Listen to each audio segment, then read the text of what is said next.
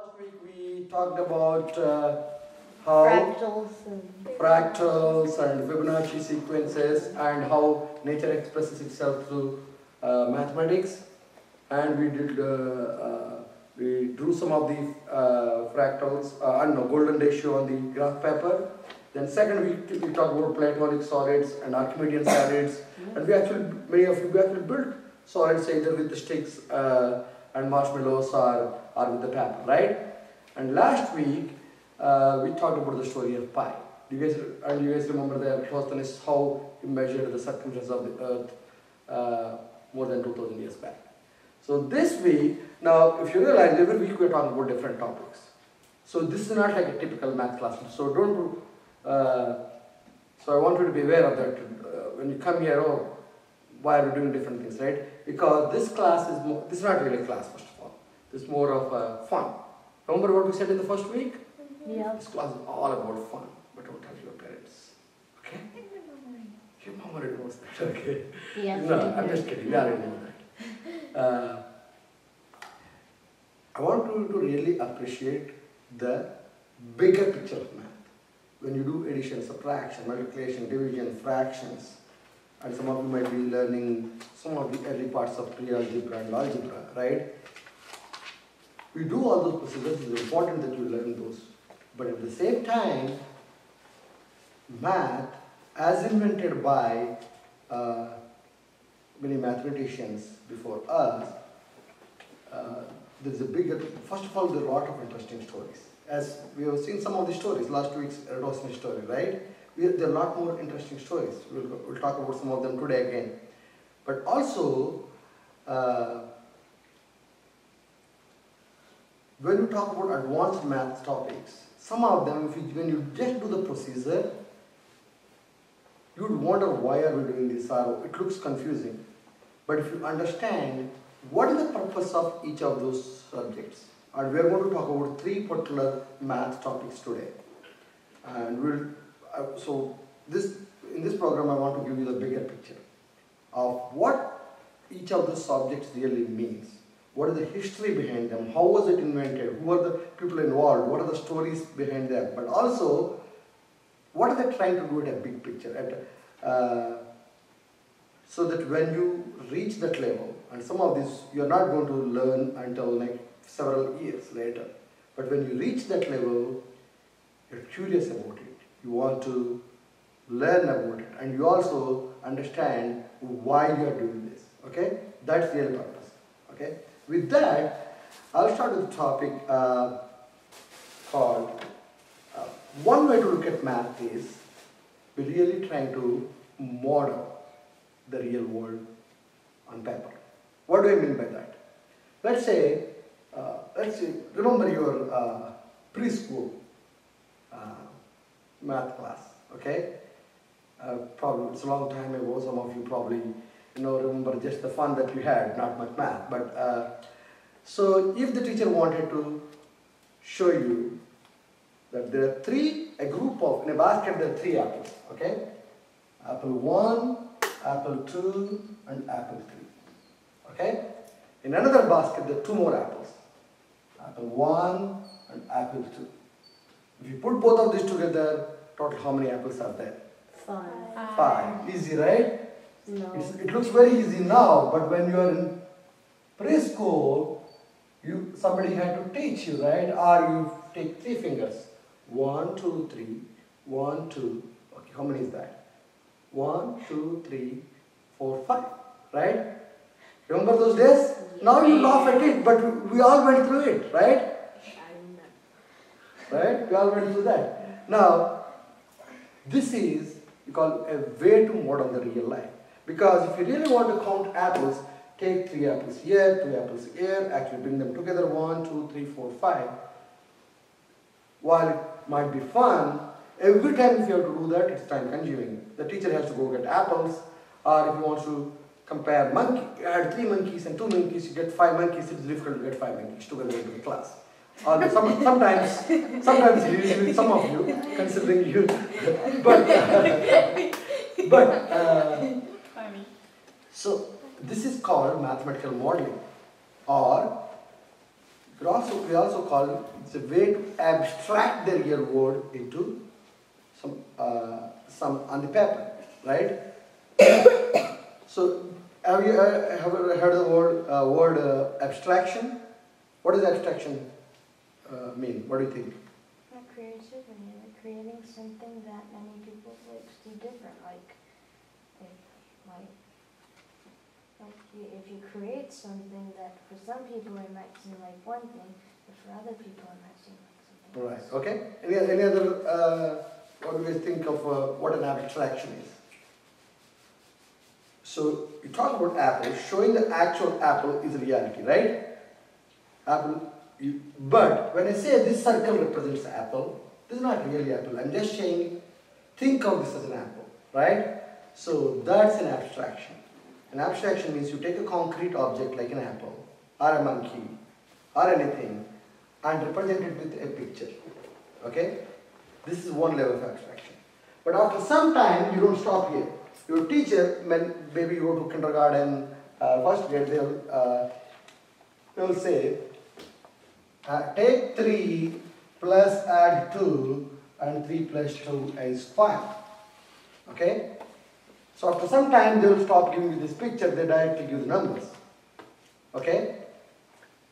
Why do you think the teacher did not start immediately with this and first started with this pictures 1, 2, 3, 1, 2 and then and the, put 5 symbols here and only later did this. Why not they start with this? Seriously?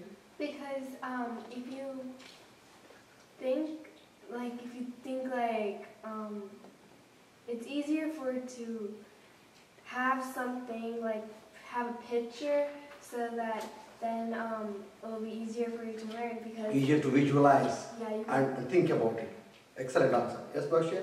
Well, since they were little kids, they might think that the three as just one number and the two as one number, and they would have the answer as two.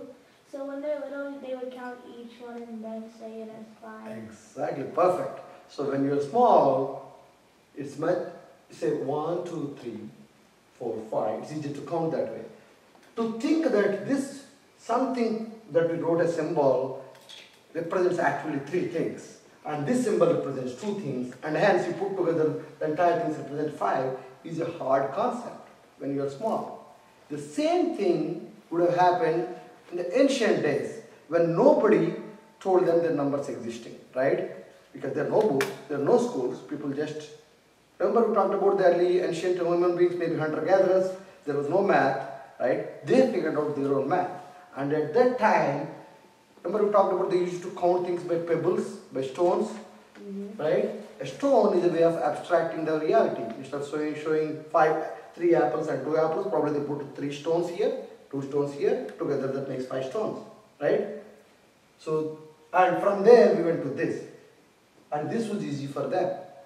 After some time, right, uh, as they did many times, some of those smart folks among them, ancient human beings, they would have figured out truth.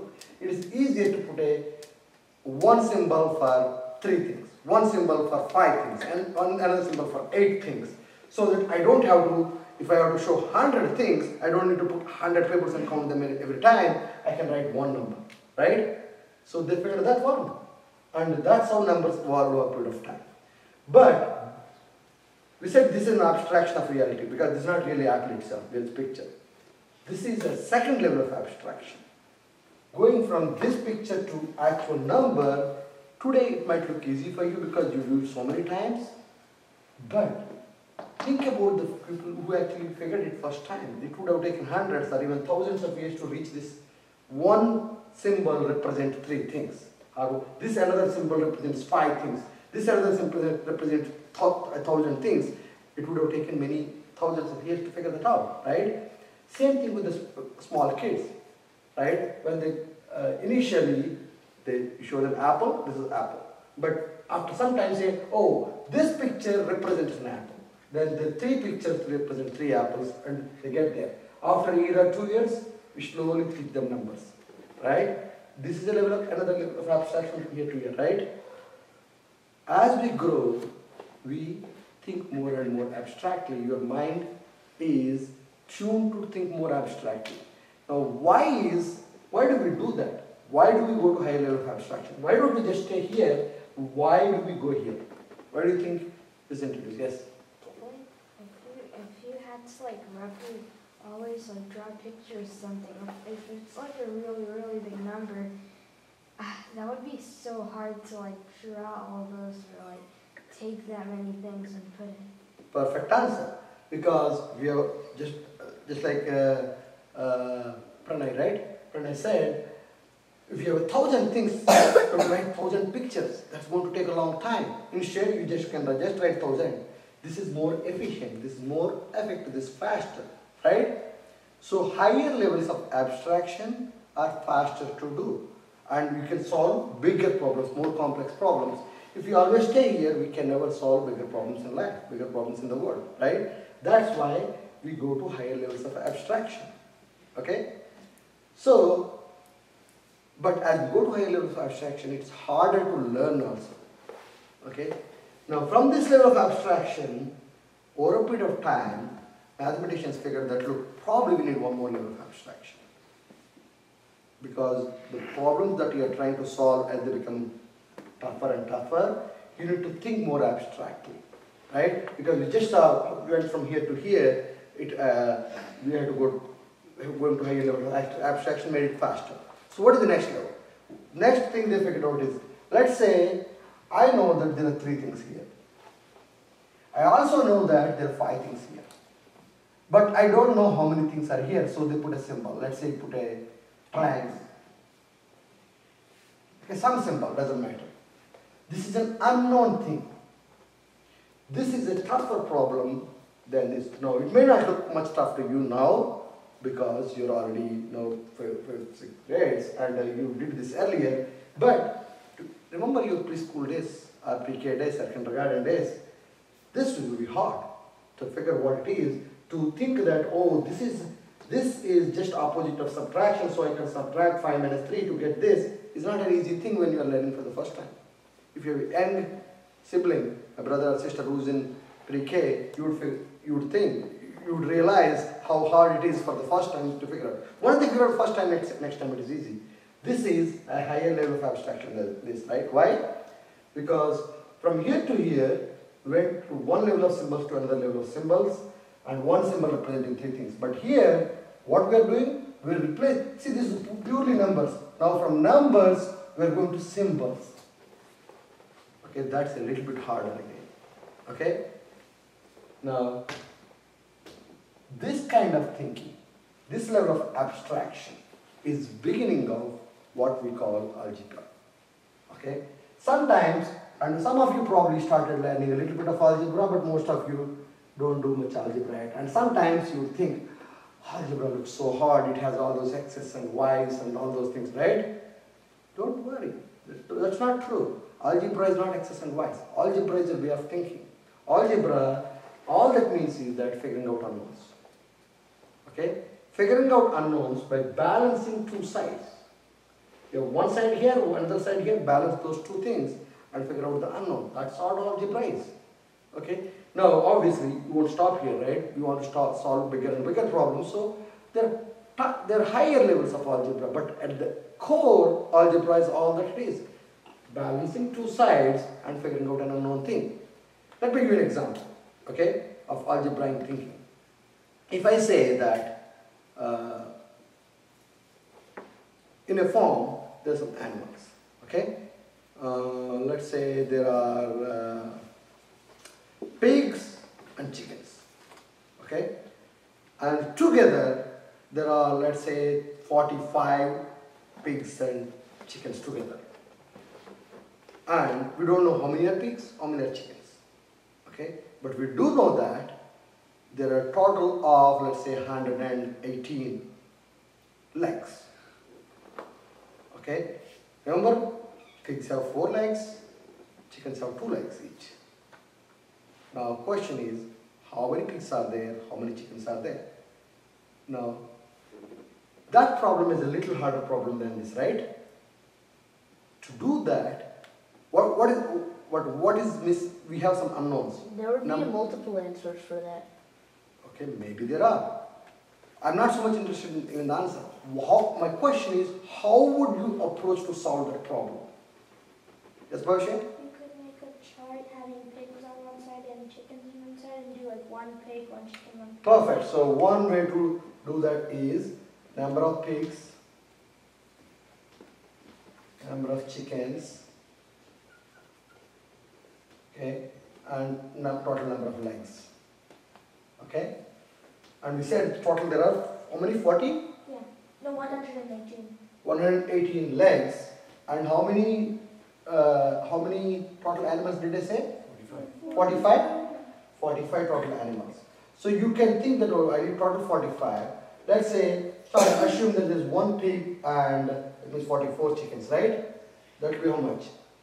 44 times 2, 88. 88 plus 4, 4 is 92. Well, that's less than 118, so we need more pigs, right? Because every pig has two more legs than chickens. So again, we need 45. Let's increase to two pigs and 43 chickens. So the total of 45. Now it will be 86 plus uh, 8, which is equal to 94. 94. Hey, they went up by 2, but they're still less than 118. You can keep going increasing one by at a time, or you think a little bit more abstractly, a little bit more algebraically, we would say. You can see that, uh, maybe let's go one more. 45, the 3 pigs and 44, sorry, 42 chickens, that will be 84 plus 12, which is 96. What is happening? Every time you, you replace one of the chickens by uh, one of the pigs, the number of legs is increasing by 2, which makes sense because each pig has two more legs than each chicken. So we can see that look, 96 is how much smaller than ni- 118? 22. 22. So 118 minus 96 is 22. So that means that every time we replace a chicken by a pig, two, you're getting two more legs, so divide by 2. So perhaps we need 11 more pigs. What is 11 plus 3? 14. 14. If you have, if you have 14 pigs, you should have 11 less than this, which is uh, 31. Okay? Let's verify whether this is working. 14 times 4 is how much? 56. And 31 times 2 is? 62. And add them? Voila, ah, we got 118 legs. That's what we're looking for. So there are 14 pigs and 31 chickens. That's algebraic thinking. What did, you, what did we just do? We, Solve the problem. we solved a problem to find some unknown, unknown things. Right? That's all that we did. Now, to come to this level of math, now, because you were taught this way, it might, may not have looked that hard, but it took a long time for human beings to figure this out. The story of how human beings figured this out is a very, very interesting one. Okay? So, I'm going to take you th- through that story. Now, thinking of algebraically, well, the word algebra came much later. So, to say that the ancient human beings thinking algebraically is kind of what is called anachronistic. You know what is anachronis- anachronism? No. Anachronism is like, let's say, uh, you're watching a, a film, a movie uh, of the Civil War. Okay? Civil War happened in 1860s. In the middle of Civil War, American Civil War, if you see an aeroplane, that is an anachronism. Why? Because aeroplane was not invented by that. So, talking about algebra in ancient days, in let's say ancient Greek time or ancient Indian or Egyptian or Mesopotamian times, is an anachronism. Because the word algebra did not come. But let's say we're, talk, we're not talking about the term, but we're talking about the idea, okay, of uh, algebraic thinking, okay. That was found in actually many ancient uh, civilizations by archaeologists. There, uh, we have some uh, evidence from some of the Egyptian pa- papyrus. There's one particular papyrus called uh, Rhind, uh, Rhind papyrus, which actually has many problems, which we can call as algebraic thinking. Although it does not have all the components of what we today call as algebra, but it has elements of algebraic thinking. Some of the Babylonian uh, clay, clay tablets called cuneiform uh, tablets, they have some evidence of that. And certainly many Indian uh, mathematicians, Indian scholars, we can, because they don't just do mathematics, because in those days there are no specialization like mathematicians. They're just scholars who are studying things.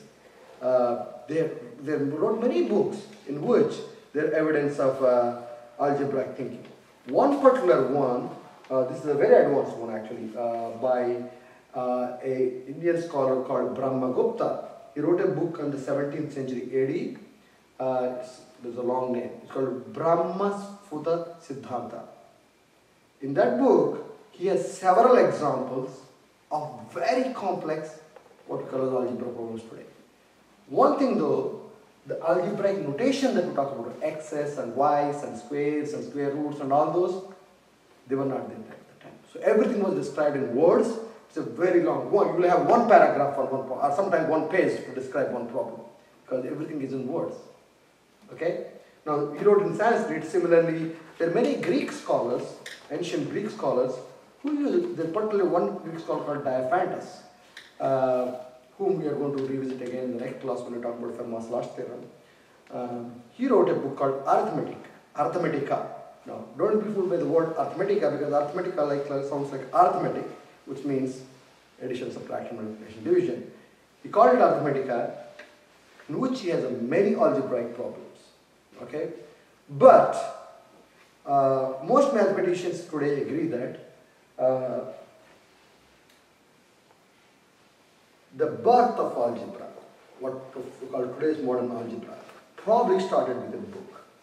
Uh, although, uh, okay, with a particular book written by one particular Arab scholar. Now, remember we talked about Arabs had a lot of interactions with Indians, and especially when Europe was going through the Middle Ages that we talked about, the Dark Ages between 5th century and 12th or 13th century, China, India, and Arab worlds went through great cultural revolution. They actually did a lot of mathematical, scientific, astronomic innovations. And as part of that, uh, we talked about how uh, many Indian mathematicians, uh, including Aryabhatta, Brahmagupta, etc., uh, and some of the even predecessors to them, um, invented today's system that we use today. And that went from Indian scholars to Arab scholars, which went eventually later Europeans learned during the 12th, 13th centuries and during the Renaissance, and they expanded it further, right? We talked about those stories. One of those very interesting story is this particular person, his name is, let me, this? Al-Khwarizmi. Anybody heard the name Al-Khwarizmi? Mm. Okay? There's very little chance that any of you heard this name earlier, but it's a, he's probably one of the great mathematical figures uh, in the history. Unfortunately, you know, in the, in the school and most places we don't learn those things, and that's why I want to give you, uh, want you to appreciate the history of mathematics. So this particular person, Al-Khwarizmi, okay, he wrote uh, a very important book, mathematical book, which is probably the, one of the greatest mathematical books today, uh, or ever. Uh, the name of the book is a very long one, it is in Arab, so you won't understand, but I will translate. The name of the book is called Al Kitab Al Muqtasar Fi Hisab Al Jabr Wal Muqabala. When you translate it into English, it's like the compendious book on calculation by, by completion and balancing. That's, even that's probably hard. The compendious means compilation. Basically, it's a book of problems of calculation by completion and balancing. I'll explain what it is in a second. But I'll, I'll read the book one more time. The interesting thing is the name algebra came because of this book title. I'll read the title one more time and I want you to identify which word in this title might have led to this name algebra. Okay? Listen to carefully. Al Kitab. By the way, anybody who knows Hindi, would realize that uh, because Arabs and Indians had a lot of interactions, right? So there are many words common. Kitab in Hindi means book, the same thing here as in Arab. Al Kitab, Al Muqtasar, Fi Hisab, Al Jabr, Wal Muqabala. Which word do you think led to algebra? Algebra. Al-Jabr, which meant really, uh, I think of the words, it's, it's balancing. Okay? Because the name of the book said is the, the book, in English translation, is the book on calculation by completion and balancing. The Al-Jabr, which is actually a Arab word. Okay? When um, Europeans started trading with Arabs, especially Italians. If you look at the uh, map of the world, especially Europe, uh, the, uh, the Mediterranean Sea, the Mediterranean Sea, and the and the Arab uh, Asia and Africa. Did anybody remember how Italy looks like? It kind of, it's a kind of like a shoe going into uh, like a boot going into the Mediterranean Sea, right? And then other side is Asia and Africa. So Italians had a lot of trade using ships, small ships and boats going to the Arabs. And when they go there, the, their primary interest is trading. Maybe, you know, sell what they have, they have in Italy and buy what is available in Arab. But when they go there, they need to learn some local, and sometimes, and when you go there, you don't come back same day. You don't have speed boats and big ships. They go there, probably they stay there for a month, they find what they want, and they come back. And some of them stay there for years. And we talked about one particular person in the first class, right? Do you remember any Italian uh, trader who went and brought something back? Yes, sir? Marco Polo. Marco Polo. Marco, we did not talk about him. He went to other parts of the world. But we talked about somebody who went to Arab world and came back. Who runs a silk? Leonardo Pizza. Leonardo of Pisa, who we also call him Fibonacci, right? He's one of them. So there are many such traders, uh, scholars who went to Arab and studied Arab, Arab way of thinking and bring it back. And some of them went and read this book because they learned Arabic by the way. And because they already know Latin, which was the predominant langu- language in Europe in those days. We're talking about I 12 thought Greeks 12 speak Latin. hmm? I thought Greeks speak Latin. Greek speak Latin. Yeah. So, okay, so if you remember, if you go back to the timeline that we talked about, the Greeks, uh, Europe, the Greeks dominated Europe up to until second century BC. Okay, that's about 2300 years back. Between about 8th century BC to 2nd century BC. Sai, if you want to talk, raise your hand. Okay? Because if we both talk, nobody can understand anything. So, Greeks, ancient Greeks, classic period is up to probably until second century BC. Then between about second century, century BC to about 5th, 5th century AD, Romans, who defeated Greeks, were the greatest in uh, Europe. At that time, until then, Greek probably was the predominant language. But when the Romans conquered Europe, the predominant language in Europe was Latin. It stayed there until uh, probably 16th, 17th centuries. Then other languages came. Eventually, Britain became a very strong force in Europe and in the world, and then English became a more predominant language. But at this time, around 12th or 13th century BC, sorry, AD, Latin was the predominant language in Europe. So they translated this book and many other books into Latin. So other Europeans started reading. And obviously, this long name is hard, so they, they put it in uh, English words.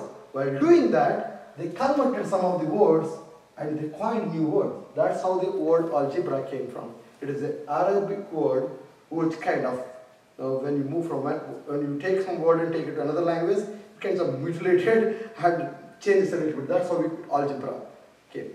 Interestingly, the Al-Khwarizmi, the name Al-Khwarizmi, who is a mathematician or a scholar, his name also was uh, actually usually became a word in English. Can anybody guess what could be that word? It's a mathematical word. It's hard to guess because it changes so much that it, it looks somewhat different, but after I tell, you can see the correlation. But it's Um, calculus? it's not it did not change that much. It starts with uh, still R. but after that it changes. A logarithm? You got it. It's called actually algorithm. Anybody heard the word algorithm? Yes. Okay. What does algorithm mean? Good job, Sri. What is the algorithm in mathematics is a kind of procedure through which can solve certain problems. Okay. You learn more when you do computers. In algorithms are very common. Okay. The word algorithm came from actually Al-Khwarizmi's name. Okay. Isn't that interesting? So, uh, but coming back to algebra, what Al-Khwarizmi did in this book is he said, and it's very good actually way to learn algebra. But I think if you keep this picture, you will probably uh, remove a lot of doubts about algebra and get the big picture of algebra. Think of a balance, a scale, okay? So if I draw a scale, I'm not very good at drawing pictures, but let's say this one. Okay? If you think of a scale like this, okay? You put two things here and two things here, the balance. Okay?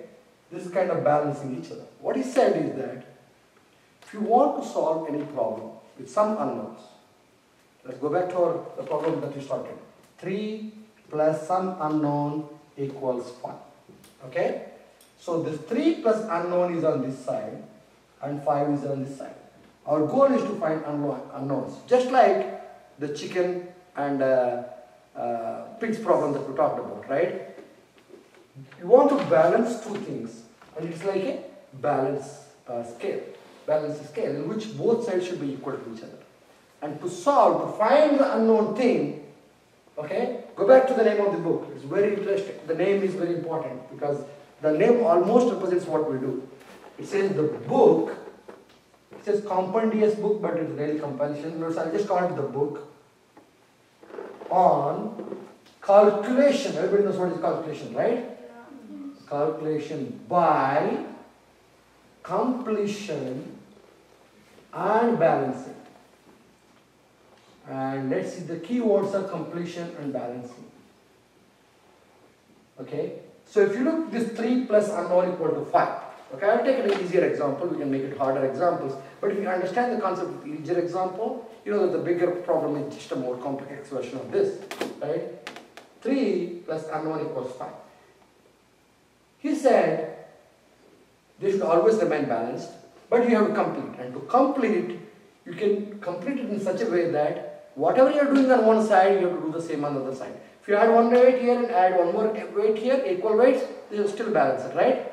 If you take away one weight here and take away one weight here, they're still balanced. So, keep all unknowns on one side. To complete it, keep all, all unknowns on one side, the known things move to the other side. So there's a 3 here. So if you subtract 3 on both sides, what happens? This 3, 3 will become 0. So you only have the unknown thing here. Now 5 minus 3 is 2. And hence the unknown equal to 2. It might look obvious, right? It's because it's a small problem. You can take a much more complex problem, but you exactly do that. You complete, but keep them always balanced. And you can solve even very complex unknown things. That's all really algebra is. Now, obviously, it's not all. you can there are more complex problems, but that is the essence, that the bottom line of algebra. Okay, and that did not change until today. But what changed is when Al-Khwarizmi is doing, and uh, before him and a little later after, all of these are solved through words. Every problem is completely described in words. Okay, so to solve this, I would say uh, today we call the unknown thing as x, right? Uh, if you are introduced to algebra. Okay, otherwise if you don't, you will learn in the next one two years. But uh, they used to call unknown thing as unknown thing. So I have five unknown things. Add those five unknown things to seven known things and multiply the whole thing by 18 and that divide uh, uh, subtract from that 9 and that balances with 32 what is the value of the unknown thing are. That's how they and to do that, to balance it, to complete it in balance, they do one step at a time. Or to do that, the nine thing that I am subtracting, I will add on both sides so that my left side nine, the nine subtracted nine is gone. See how difficult it is? But that's how they did. But at, but the concept is the same. But what happened later was, as the Europeans started learning this, they loved this, by the way. Oh, until then, the predominant mathematics, in fact, the only mathematics in apart from basic algebra like addition, sorry, basic arithmetic like addition, subtraction, multiplication, division, the predominant mathematics in Europe was geometry.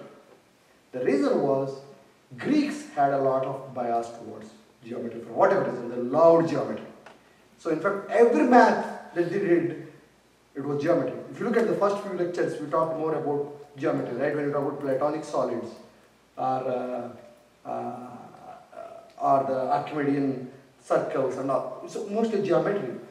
Uh, and all the problems that expressed in geometry, they thought all math problems have to be solved geometrically because geometry is intuitive, it's pictures, as opposed to algebra which is more, ab more abstract, right? More conceptual, whereas a, uh, but geometry is more intuitive. And that continued through Romans and all the European, what we call as universities today, but they're like religious institutions in those days. They also used to teach math, but all of that is based on geometry. Which, what were the books? Euclid's Elements. We talked about 13 books that Euclid wrote uh, more than 2000 years back. Those were the standard textbooks in all European universities until as late as 15th and 16th centuries. So when this concept of algebra moved from uh, Indian and Arab world to Europe, all Europeans are just following geometry, but they loved this concept. Because this is, you can solve a lot more complex problems much more faster than what you can do with geometry. And people started uh, translating them, more books, and understanding more, but they also developed more complex algebra on top of what Arabs had done, or compared to anybody had done. But that also led to some interesting things. Now, in those days, there were no TVs. In the Greek, so what do you think is the major entertainment? If you go to the Greek days and Roman days, especially Roman days, they have gladiators, right? That was a major entertainment. So they used to have the huge public halls where gladiator fights go on, and they're dangerous, but it is entertainment for a lot of people, right? But by the 10th, 12th, and 13th centuries came gladiators are gone. Roman times were gone. So they used to have uh, public squares in the cities, and they used to have some kind of competitions. And around this time, when these algebraic problems moved from Arab world to Europe, especially Italians, some in some Italian cities, they started having mathematical contests. So whoever wins this math competition is going to win a prize. They might even get some jobs. The kings used to patronize some of the you know, intelligent people, those who can solve hard math problems, they used to probably get a know, teacher, a professor at a university uh, or a king's court or whatever. So people used to study algebra and these math problems to go to this contest, try to win. And one such contest was extremely interesting. Okay, this is between uh, this gentleman called Tartaglia, who uh, learned how to solve a certain set of algebraic problems. The complex set of problems called, is called cubic equations. These are harder than 3 plus a harmonic equal to 5. The general form of a, a cubic equation looks like this. And if you don't understand, don't okay? Because it's way advanced for you. So, I don't expect you to completely understand or solve it, but just appreciate. This is called a cubic equation. It looks like this, ax cubed plus bx squared plus cx plus d equals 0. That's called a cubic equation because the highest power of x is cubed here. That's what we call a cubic equation. Okay. Now in those days, in fact starting all the way back to ancient, uh, some of the ancient Indian and uh, Greek scholars, they solved some specific cubic problems. In fact, the Greek catapults, you heard about the Greek, Greek catapults? Uh, Archimedes designed some of them to uh, keep Romans at bay uh, when they are trying to occupy Greek, uh, Greek city of Syracuse. Syracuse. And uh, the catapult was built using the strength that you need for a catapult to you know, throw things is based on a cubic equation.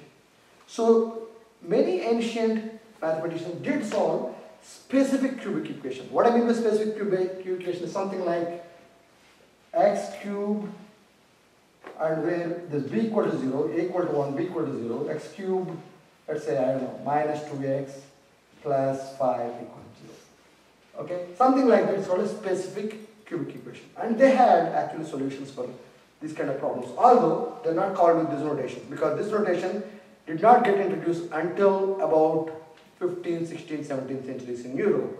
These were all expressed in words, but specific problems like that was for solved. But what nobody knew was if you take any cubic equation of with any values given to A, B, C, and D, how to solve it. Nobody knew at that time.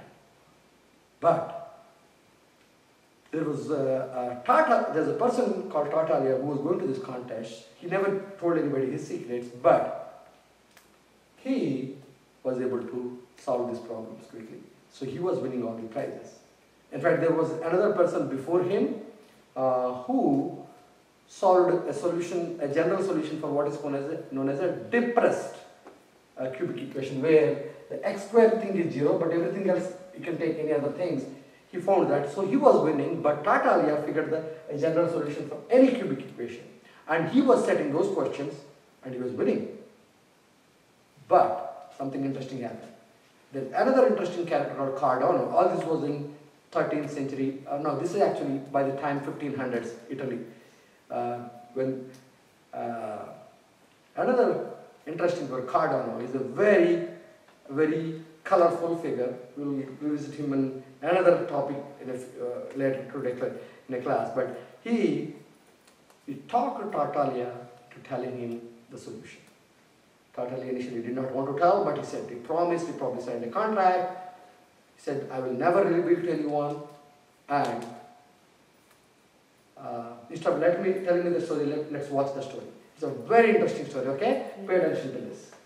Uh, this is Tartaglia and uh, the times around Italy in the, around this time and uh, watch this carefully. Very interesting story. Once upon a time, during the Renaissance, the 1500s, in Italy, mathematicians would hold public competitions during which they would challenge each other to solve problems. Those who won these competitions were renowned and could easily find employment. Therefore, mathematicians kept their knowledge secret in order to have an advantage in competition. This brings us to the kind of problem that was common during the period. It involved solving cubic equations, that is, equations of the form ax cubed plus bx squared plus cx plus d equals 0.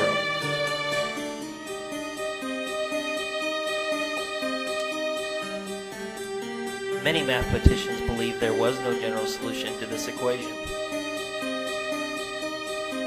This brings us to Scipione del Ferro, who studied at the University of Bologna. There he solved what is called the depressed cubic. Equations of this form. Of course, he kept his solution secret, but on his deathbed, Del Ferro divulged the formula to his student, Antonio Fiore. Because of this formula, Fiore excelled in competitions, solving depressed cubics. When another mathematician, Niccolo Tartaglia, claimed to be more adept at solving these kinds of problems, Fiore did not believe him. So Fiore challenged Tartaglia to a public competition. Nothing like an arm wrestling match, but a competition of wits. The two gave each other math problems to solve. Tartaglia gave Fiore cubic equations that couldn't be solved with the solution Del Ferro told him. Since Tartaglia had figured out on his own a solution to the general depressed cubic equation, he easily won the competition. Fiore was disgraced because of his loss, and he ran away, disappearing. Now, Girolamo Cardano came into the story. He was not the best role model for mathematicians today. In life, he was somewhat of a rat, or a scoundrel. Impressed and intrigued with Tartaglia's ability to solve these equations, Cardano asked Tartaglia to share the solution with him. Tartaglia refused, guarding his secret. However, Cardano persisted until Tartaglia was willing to share, as long as Cardano promised never to publish the formula. And to never write it down except in code. Tartaglia created a contract. And Cardano signed it, promising not to share the solution.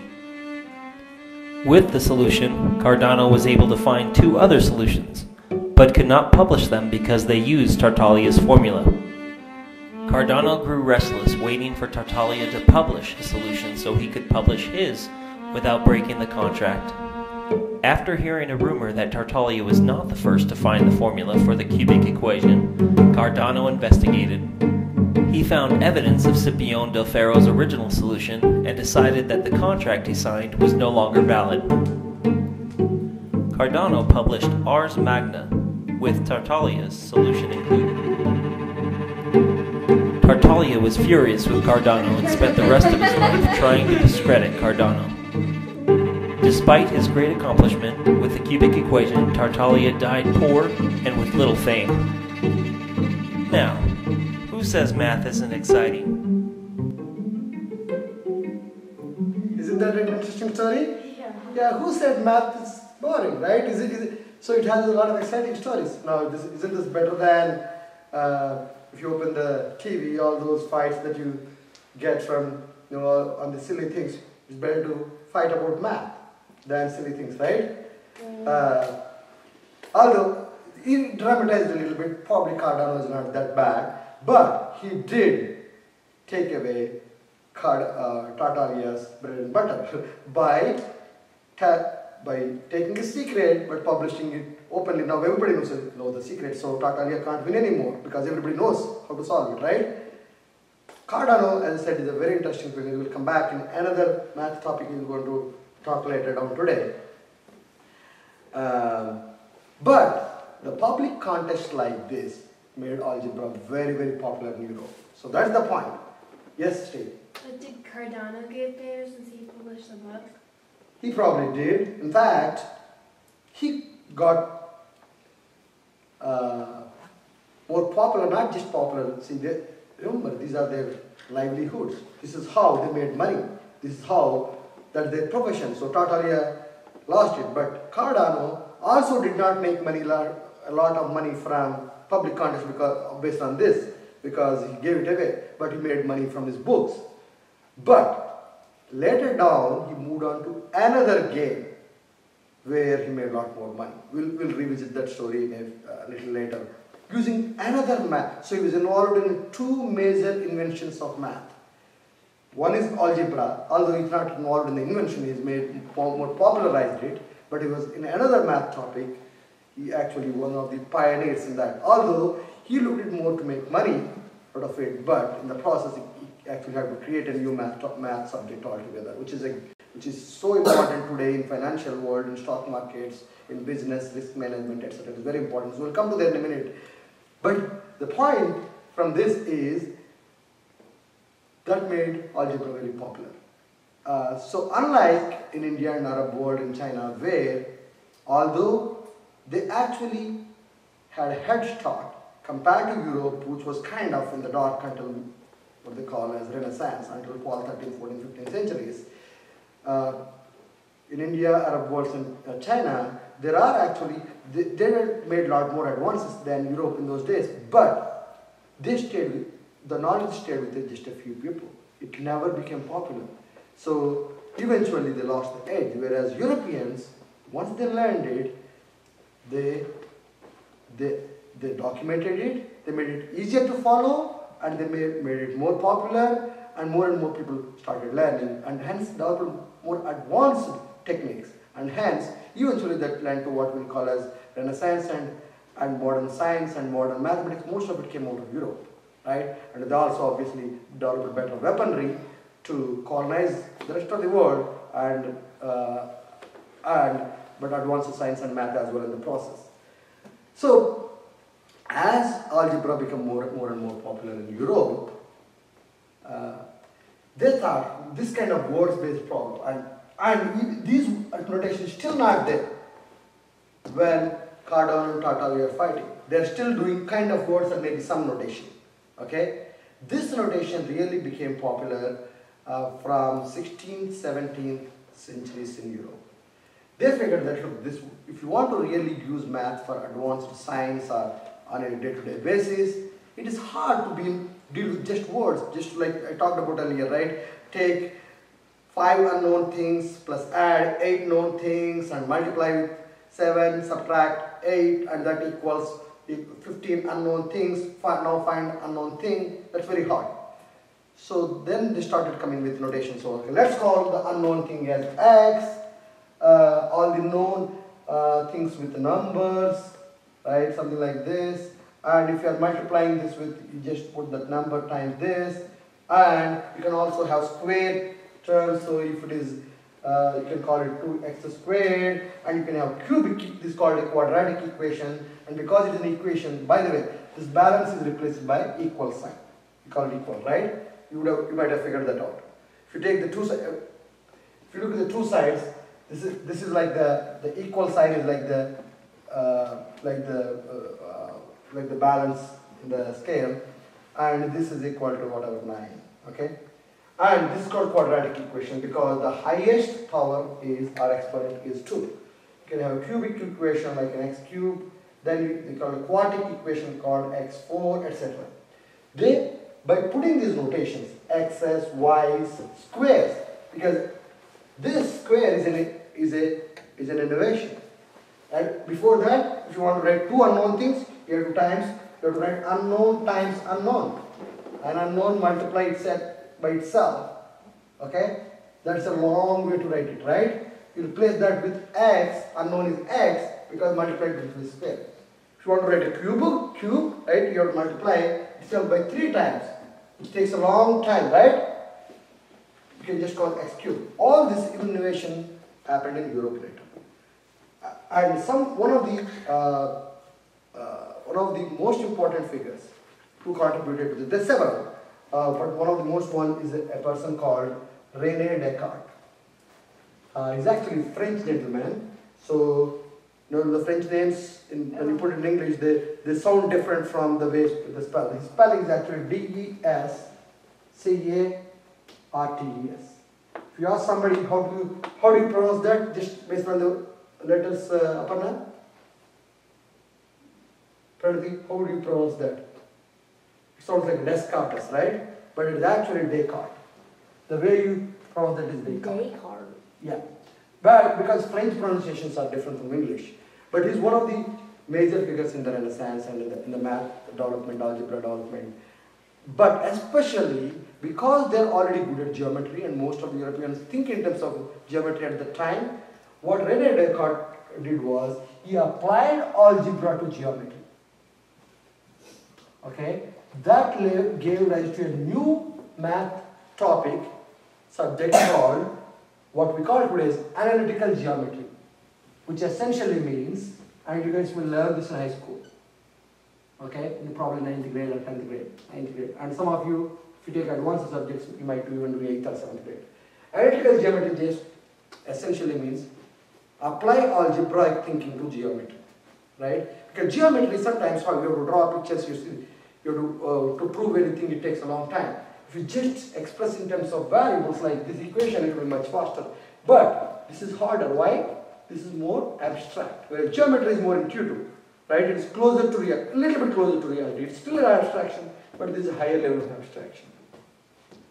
It's harder to learn, but once you learn, it's much more efficient. Just like numbers are easier than apples that we're talking about, right? So this is just one more level of abstraction.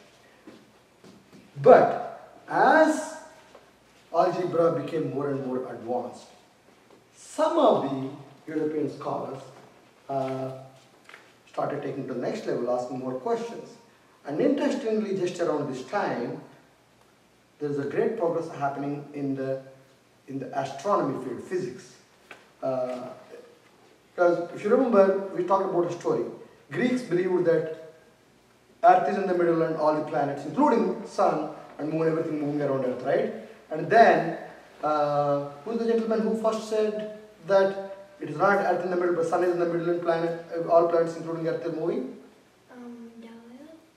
No, Copernicus. Nikolai Copernicus. He was the first. Galileo was part of that story, but he came later down.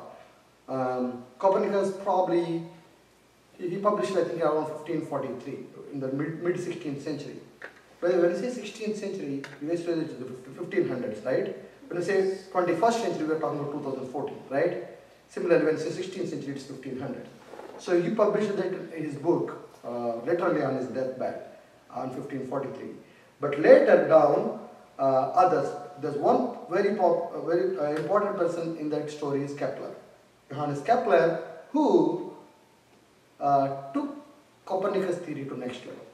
Because Copernicus said that all the planets are moving around the sun, but they're moving in circular orbits at uniform speed. And Copernicus, as Kepler, actually made close observations of all the planets. In fact, his guru, uh, uh, Tycho Brahe, did a lot of observations, and from that, Kepler took those and he actually mapped that, and he figured that look, based on these calculations, the planets are not moving in circular orbits at uniform speed, but they are moving in elliptical orbits. You all know what is an ellipse? It is like an elongated circle, right? They are moving in elliptical orbits at non-uniform speeds. As the planet comes closer, it will go faster, but when it goes farther, it goes slower. Okay? But he did not have a proof for it. He, based on the observation, he came up with a formula, but he did not have a proof. For the proof, one particular gentleman was working hard to prove that in the late, in the mid to late 1600s, and that's when the next greatest math innovation in the entire human history happened. And uh, but uh, that particular gentleman, you all know all of, all of his name. He's the one who eventually proved the universal theory of gravity. Who is that? News. Isaac Newton, right? But to prove that, there is one big challenge. The available math techniques were not sufficient to prove. So to prove it, he actually in, invented a new field of mathematics, which is probably the greatest mathematical innovation ever. Without that, we cannot do advanced science, uh, engineering, technology, economics, every field today that, that is used so much. And that is the field of calculus. How many of you heard calculus? Have you ever the- heard the word calculus, a math field called calculus? Most of you don't know what it is, right? But you know, you heard it, right? You probably would, would wonder what is it. Now, you are not really ready to understand calculus and how to do it. So, I'm not going to teach you how to do it, but you are ready to appreciate what it is and what is the story behind it. So, it is even more interesting story, story than Tartaglia versus Cardano because while Newton was in, working on this to solve the gravitational theory, at the same time, Newton was in England at the time, this mid 1600s. Uh, there is another gentleman uh, called Leibniz who was living in Germany, he was a German living in Paris at the time.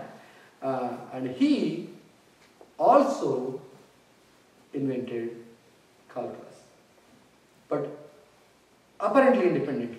But then Newton's, all the Newton and all his friends said Leibniz copied Newton's stuff. And Leibniz said no, he did it independently, but that was a that was the biggest controversy uh, in Europe, uh, intellectual controversy, math, math or science kind of, not the physical war. There are a lot of wars going on in Europe, in Europe at the time, but and later. But this was more intellectual, probably the greatest intellectual battle ever. Uh, this is a very interesting story. So watch this video, and uh, then we'll come back to what really calculus is. Okay? Today, calculus is one of the most important branches of mathematics with applications in science, engineering, and economics. But who invented this wonderful tool? As with many questions of invention, the answer is a little complicated. Most mathematicians will tell you that two men deserve the credit for the development of modern calculus Isaac Newton and Gottfried Leibniz. Of course, Newton and Leibniz were merely the next links in a long chain of discoveries that led to the creation of modern calculus. The ancient Greeks had first dipped their feet into the field, with the famous mathematician Archimedes being the first to find the tangent to a curve, and Antiphon of Athens developing the method of exhaustion, an early technique to compute the area of a region. Then the Indians added their own discoveries, with the astronomer Aryabhata expressing an astronomical problem in the form of a differential equation in the year 4099, and Parameshvara of Kerala developing an early version of the mean value theorem in the 1500s. Finally, during the European Enlightenment, men like Fermat, Pascal, and Isaac Barrow further pursued the emerging new field, developing the concept of the derivative. Barrow even offered the first proof of the fundamental theorem of calculus, linking the concepts of differentiation and integration. However, it was one of Barrow's young students, a certain Isaac Newton, who would make the next big splash in the creation of the art of calculus. Let's talk a bit about young Isaac for a moment. In his 84 years, Isaac Newton would discover gravity, write the three laws of motion, formulate a modern theory of the origins of colors in the visible spectrum, develop an empirical law of cooling, discover the binomial theorem, kickstart 200 years of intellectual freedom in the Enlightenment, move the British pound to the gold standard, and of course, invent calculus. Newton's rival, Gottfried Leibniz, was no intellectual slouch either. Leibniz developed the binary system that is the basis of all modern electronics, contrived his own theory of everything, the monadology, invented modern formal logic, anticipated the discoveries of Einstein with his metaphysical theory of dynamism, theorized about an early computer to solve algebraic expressions, explored the field now known as topology, created a wonderful brand of German biscuits, and of course, invented calculus. Strangely enough, both men invented calculus, but to their graves, the world believed that only one man was telling the truth. The question was, who? In 1666, Newton was one of the many students at Cambridge University who were sent home on account of the plague. In his spare time, Newton developed what we now know as calculus to solve physics problems. However, he called calculus the method of fluxions, fluxion being Newton's term for a derivative of a continuous function. Newton mainly used geometric proofs for his new theory, and relied on limits and concrete reality rather than concepts and theory. However, as was typical with Newton, he withheld his extraordinary findings for many years, refusing to publish them for the rest of the world. Meanwhile, young Gottfried Wilhelm Leibniz, a German philosopher and mathematician, began working on his calculus in 1674 while staying in Paris. On November 11, 1675, he made a breakthrough, finding the area under the graph of the function y equals f of x. He invented a whole new system of notation for his discovery, using an elongated letter S for the Latin word summa for integration, and the D for the Latin word differentia for differentials. Leibniz published his first account of differential calculus in 1684, and then published an explanation of integral calculus in 1686. A year later, in 1687, Newton finally got around to publishing his findings, producing the Philosophiae Naturalis Principia Mathematica, which has since been hailed as the greatest science book of all time. In the book, Newton described his famous laws of motion, his law of universal gravitation, and the derivation of Kepler's laws of planetary motion.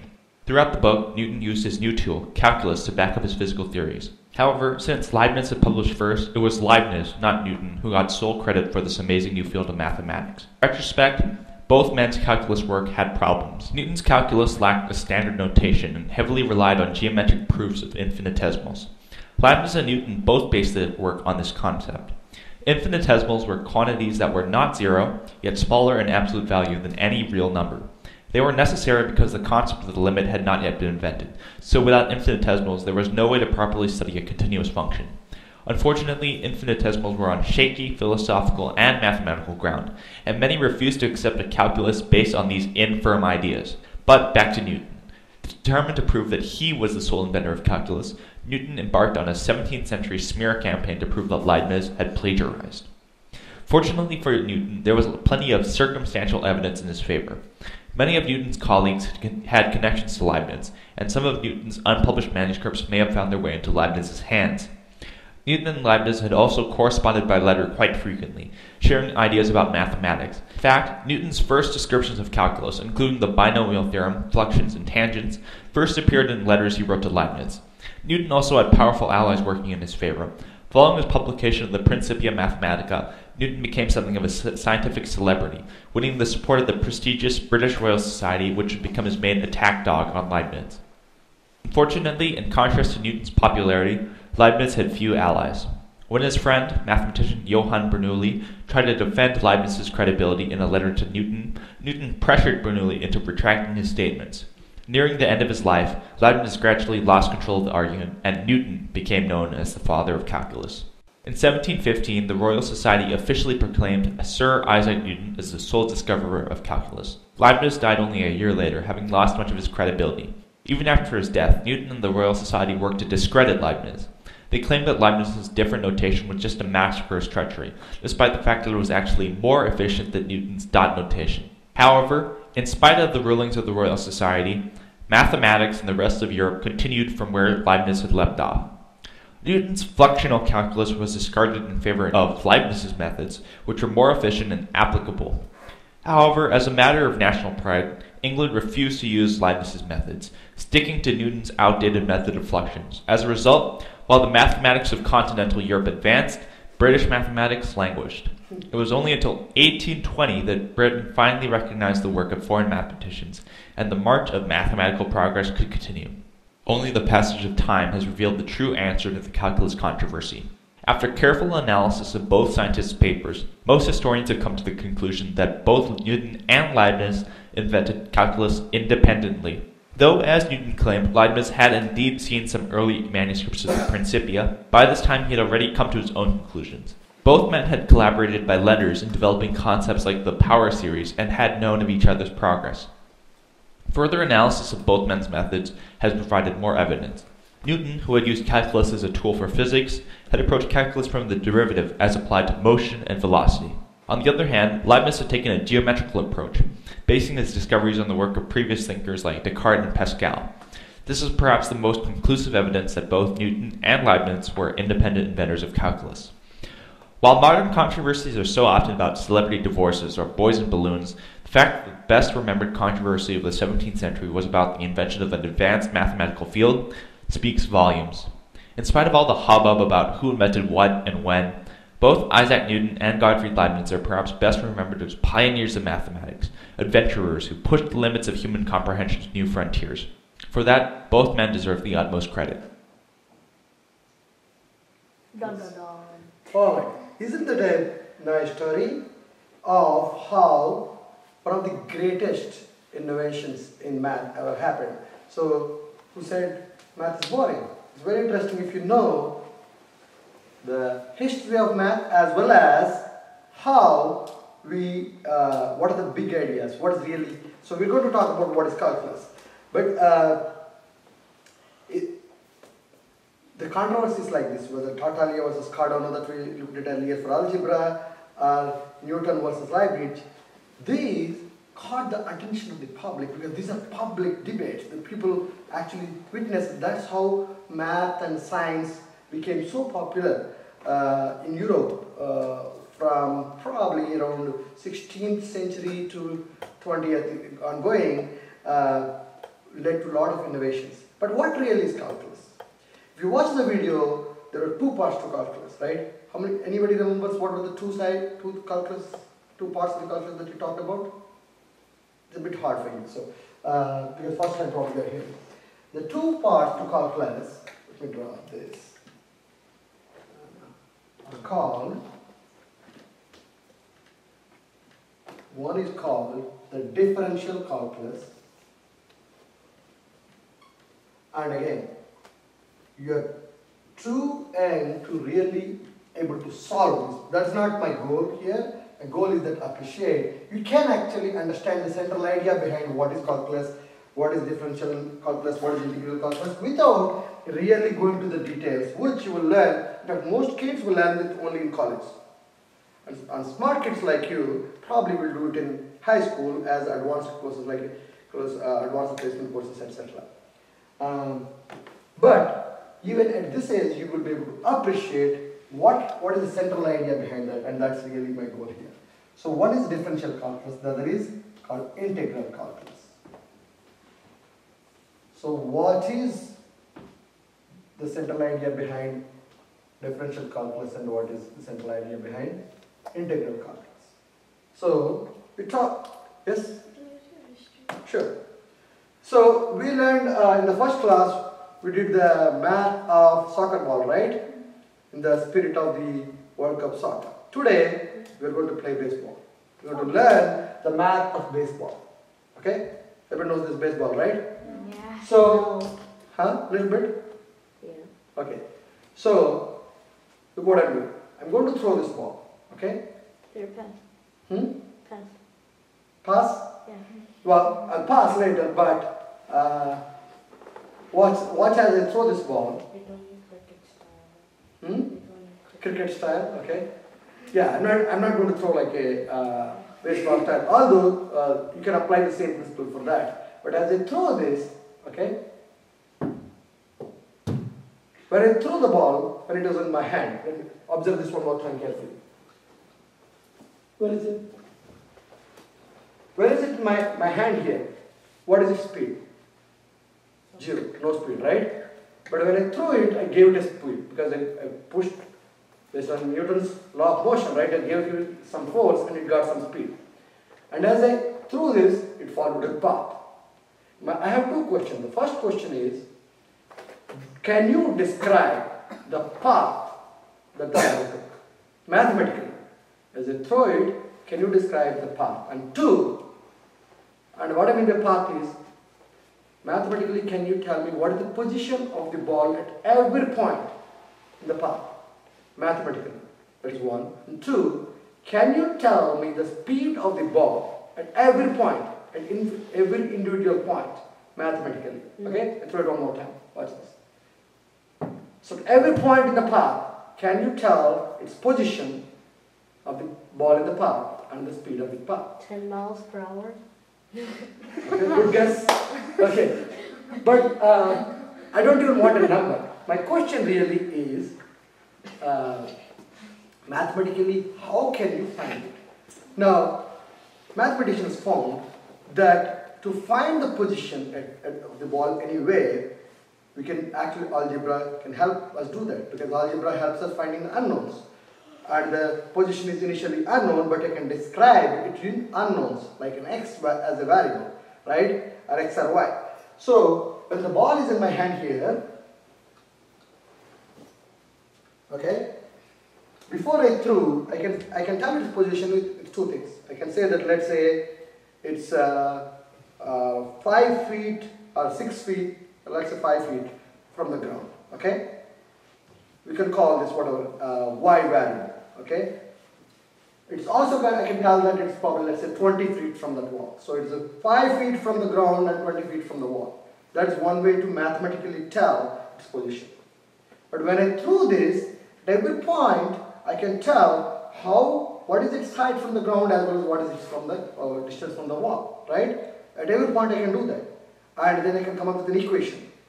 Uh, for every, if I represent it as a variable as a time, at 0 seconds, at 0 time, its position is 5 feet from ground and 20 feet from the wall. At a point 1 second, where is it? What is point 2 seconds, where is it? After 1 second, where is it? 2 seconds, where it is it? After 10 seconds, where is it? I can tell, we can describe algebraically, right? Don't worry about the equation right now. Uh, that you will figure out when you go to middle school, uh, later middle school and high school. But you can, algebra will help us do that. But how will you find the speed? What is really speed? Okay, most of you knew that. Uh, some of you probably know that. Uh, we can say speed is equal to distance over time, right? Probably some of because speed is called also rate. And what is a rate means is a rate of change. When the ball moves from one point to another point, okay, its position has changed. The rate of change of the position or the place is called the speed. Okay, mathematically or physically, in, in scientifically speaking. Uh, and if you don't understand all that, that's okay. You, you have time to understand. I just want to give a general picture, big picture, okay? To find that speed, the, the rate of change, or to find the speed at any point is called the instantaneous rate of change. Because we know what is rate of change. When it goes from here to here, its position moved, whatever, uh, 5 inches, like, like say 2 inches vertically and 3 inches horizontally in 1 second, let's say. And based on that, we can find what is the speed between, average speed from here to here, right? But what we are really interested in is speed exactly at this point. That is called an instantaneous change. Okay? Or take this ball. Okay? It's a kind of bouncy ball, squishy ball. Okay? As I throw this ball, okay, at this point, its position I can tell its height, right? Uh, and it, what is its speed? Zero. Zero, right? It's not moving. Speed is equal to, only when it's moving it has a speed. It has no speed. It is the rate of change is zero because it's not changing at all. There's no question of rate of change when you are not changing it. But once I release it, because of gravity, it goes down, right? And as it goes down, what is happening to its position? The height is reducing, but the speed is increasing, right? And as when it hits the ground, what is its position? Zero from the zero height from the ground. But its speed is also the maximum at that point. But as soon as it hits the ground, it becomes zero speed because the ground has stopped it, and then it bounces back, then it, it gains the speed again, right? So at any point, we can tell the position using the algebra. That if we call the height as x, I can say that x is equal to whatever x speed from at every every second we can tell that. But to find the speed or the speed at any point called instantaneous change or instantaneous rate of change, we can calculate using differential calculus. That's what differential calculus is. It helps us find rate of change. It helps us find the speed in this case. Another easier example. Okay. Um, how many of you saw a film, uh, a video film where at each, and some of you might have seen in the, in the cartoons or in the movies or the videos. Sure. Uh, as from, you might have seen a film, some, it looks somewhat like this, like a reel of film. Right?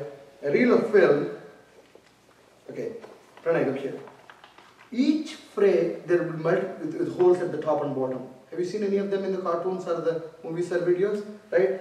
And there will be a picture, it's called negative. You can't see the picture clearly, but it's kind of negative. The, the ones with the light will look as black and other, uh, the ones without light look as uh, white. They're called negatives. But if you look from frame to frame, film to film, they look almost identical. There's not much difference. Okay, but first to second, or second to third, or third to fourth, they almost look similar. But if you take the one first frame with the hundredth frame, they've changed. Right? Similarly, so if I'm moving in slow motion, my, my hand is like this, okay? And if I move this, right? The, the first frame is like this, second frame is almost a little bit changed, but you can't see it. It's slowly moving, okay? Each of the movements is captured in one film, in one frame, in the film. Because when we run the frame fast enough, today's in digital cameras we don't see that. In the old days when you have physical film that is stored, right? So you have to store each of the positions in a different frame. And when you run it fast enough, at more than 22 frames per second, our eye cannot differentiate that, that it, it's actually you're moving it slowly. It thinks it's a continuous motion. In reality, the film is not continuous, right? Each, each picture is captured separately, in a separate, in a separate frame, but when you run it fast enough, it looks as if my hand is moving freely. But in reality, when they put it in the film, it's not continuous, it's actually discontinuous. Every frame is different from the other. But from one to other, the difference is so little that you can't always, you can't see that. That change, uh, that little change is called instantaneous change. Another example is if you look at uh, from one moment to next moment, okay? Can you tell if you, your height has grown? From this moment to next second. Okay? From one hour to next hour, can you tell if your height has grown? Okay. From today to tomorrow, can you tell if the height has changed? Possibly. Really? Possibly. No. Mm. You can think conceptually, but it's Yeah. did you ever see someone tell you, oh, from yesterday to today you grew? I can see that, no, right? But let's say you did not see your some your relative or friend, your your cousin or uncle for two three years, and and said, wow, you grew in last two years. Didn't you hear that? That's so common comment, right? Mhm. What if, if do you think you, you really grew at the end of two years by two inches suddenly? No. Do you think you grew uh, maybe at the end of each year by one inch each? Yeah. Suddenly, you No, did not grow for the whole year, but did. No, Uh, do you think at the end of each month you grew a little bit? Yeah. You did not grow for the whole month, but at the end of the month you grew a little bit? No. Do you think at the end of when you sleep every night, you don't grow for the whole day, but maybe when you sleep you grow a little bit by one millimeter? No. No. The growth is actually continuous. You are growing every second, every moment.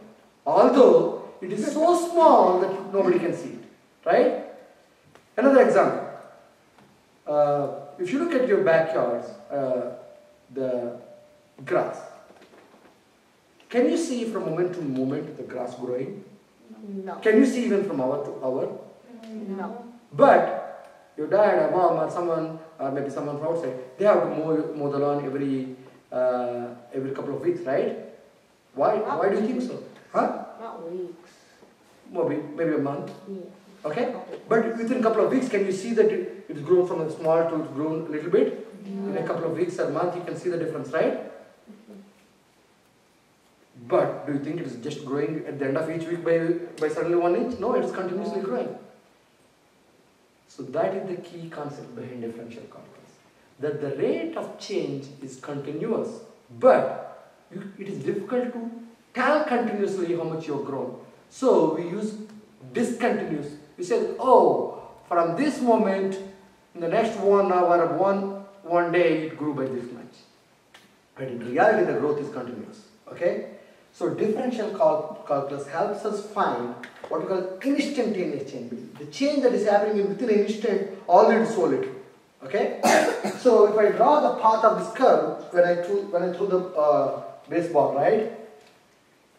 So if I threw from the ground, let's say something like this. By the way, there's a name for this curve. Anybody knows what is the name of this curve? When you throw a ball, the path it follows, yes? Parabola. Parabola. Awesome. It's called parabola. Okay, it is not circle. Although it might look like a semicircle, it's not. It's a, it's, it's a, it's a different shape. That is the path it takes. Now the question is, from this point to somewhere close by, if you want to find, uh, well, I want to, what I really want to find is, what is the speed at any point? At this point, what is the speed? But it is difficult to find the speed at that point because the change we can only observe from one point. From here to here, if I want to find, let's call this point is A and this point is B. If we want to find what is the speed between these two, we can apply the principle that we know. We can find what is the distance between them, and we can also find what is the time it took. And we said speed is defined as rate of change, right? Rate of change of the position. So that, that is distance, this distance d divided by time will give us the speed, average speed from this point to this point. That is fairly obvious using, using algebra also. But if I want to find what is the speed at A itself, that is a harder point.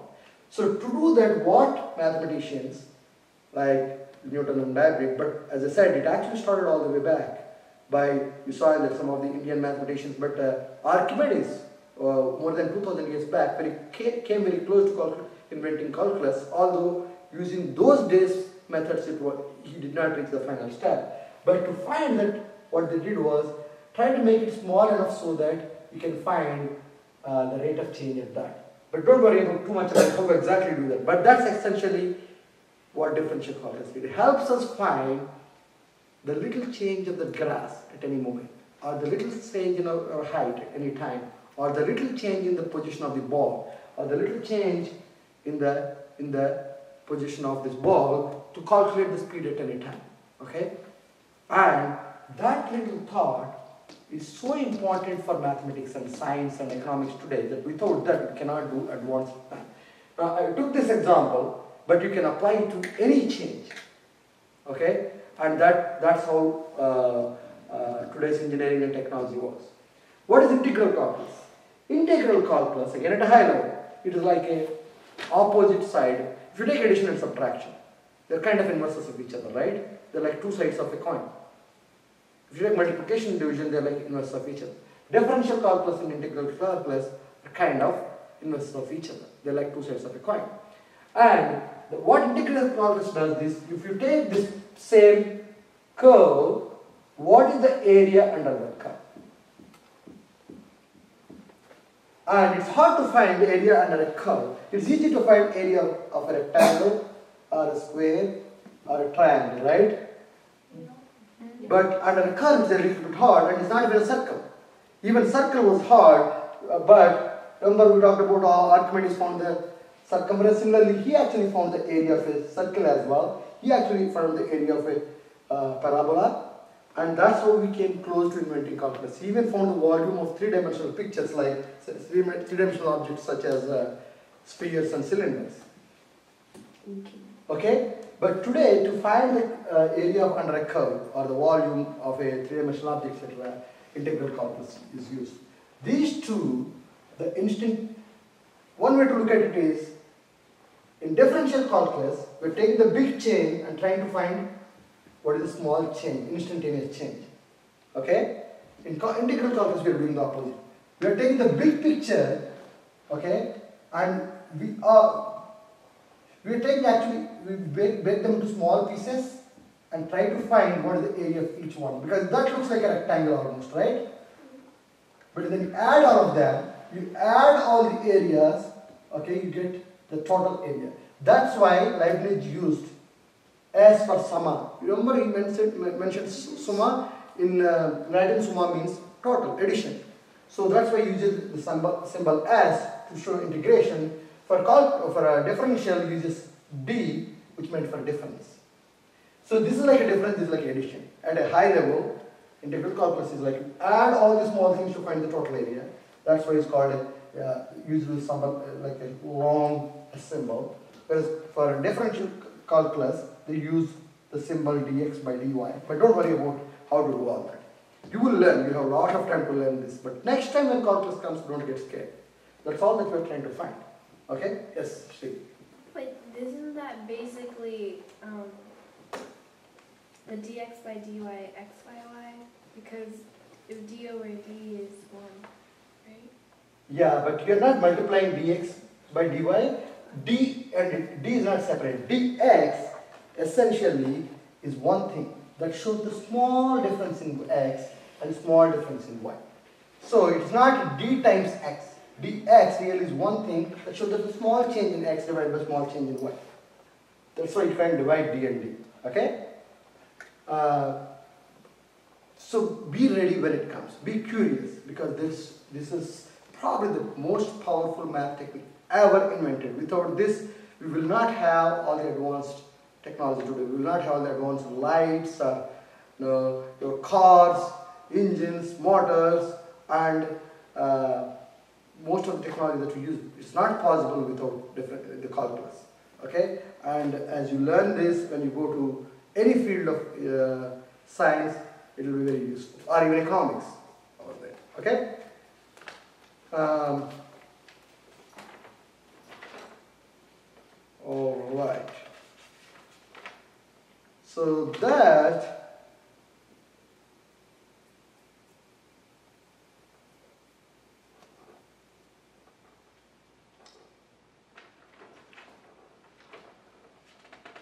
brings me to the uh, the third math topic, uh, probably third greatest math innovation ever.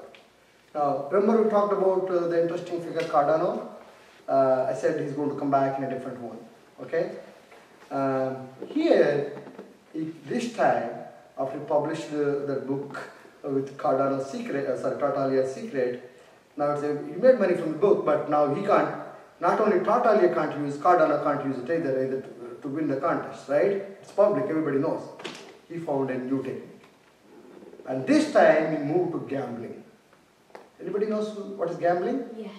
It's like uh, the easiest way to look is dice. In, the, in those days, playing with dice was very popular. Ga- yeah. When you throw the dice, right? But they tell the different people stand at the table, they say, okay, it's going to be, let's say you just throw one die. And, and in a die there are one, two, three, four, five, six uh, sides, right? Six numbers. If you, they'll say, okay, if it comes three, uh, you'll get this much money. If you get, if you don't get that, you lose this much money. Okay? And it's almost looks like a chance, right? And that's why it's called gambling because you cannot tell what's going to come, and uh, and hence it's uh, uh, it's like you're taking chances. You do cannot predict what's going to come. But Cardano found uh, something interesting for the first time in the history of math. That uh, he found that in spite of not knowing what is going to come next, he figured out a way to find what we call as probability today. Right? what is the probability that a particular number can come? And based on that, he killed, he started making a lot of money because he knew something that nobody else knew. And the same thing about all the cubic equations by making money by knowing something that you don't others don't know. This time, by knowing how to, although we cannot tell for certain what is going to come next, you can tell what is the probability that something will come. And there is some probability, and when you throw two, dice instead of one die, you can tell what is the probability that one one will come versus one two will come together. Okay? And using that, he started betting based using mathematics, and he started making money. And but what he did not realize is that by doing that, he invented, or he was a pioneer in inventing a, a completely new field of mathematics. And uh, so let's watch the next video to see how this started a whole new revolution in uh, the third video. Whole new revolution in mathematics that today most advanced uh, stock markets, financial markets, business are based on this. Okay, let's watch this.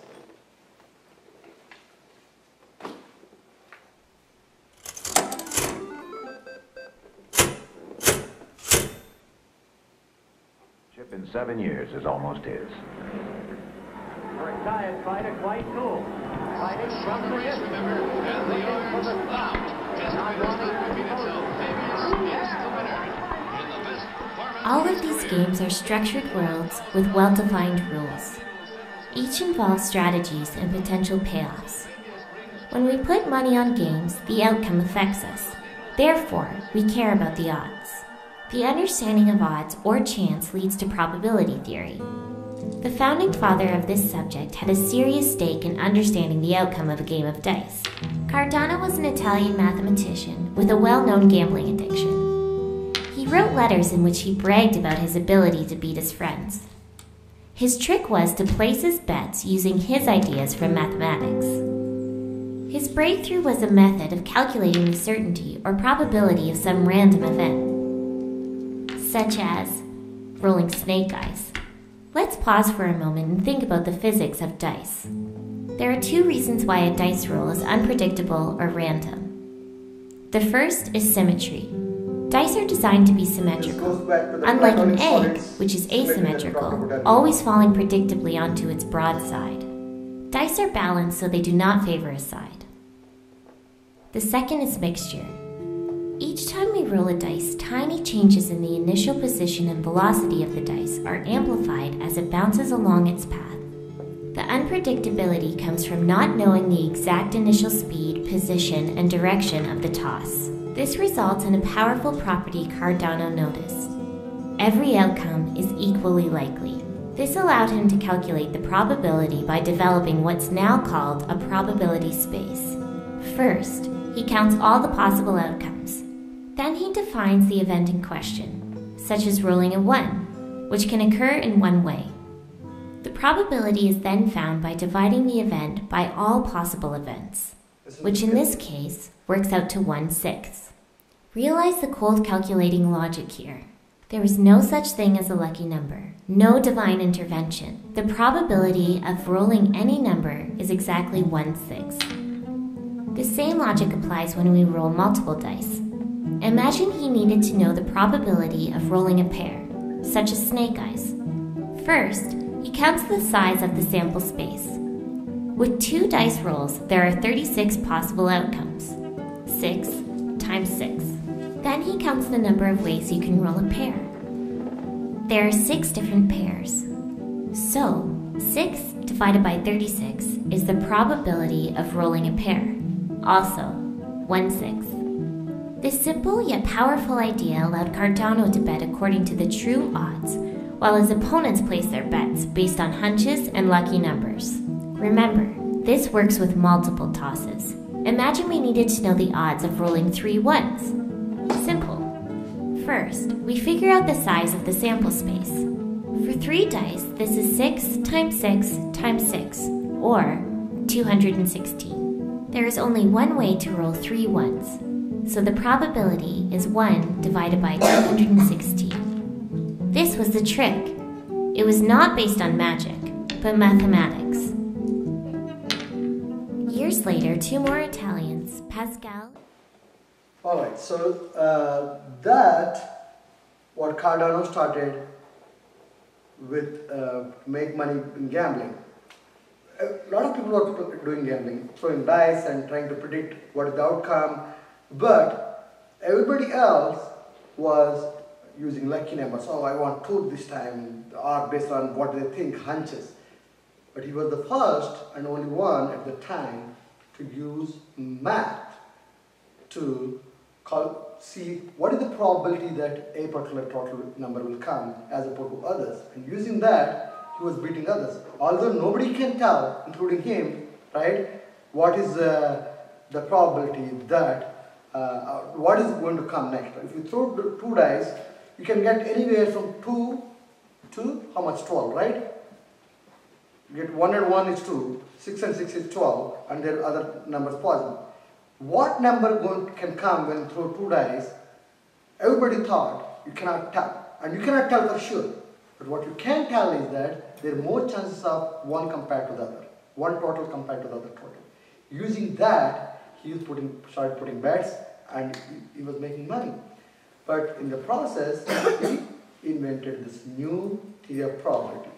Now, interestingly, probability was the last uh, between algebra and calculus and probability was invented much later than even calculus. But although probably calculus, intellectually speaking, you know, abstractly speaking, calculus is much harder. Even algebra, calculus is harder. But calculus, the reason why probability probably took so long is because of one of uh, going back to the ancient Greeks, their bias against anything that is not certain.